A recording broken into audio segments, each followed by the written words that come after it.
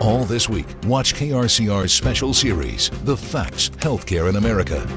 An unbiased, in depth, fact based report on healthcare reform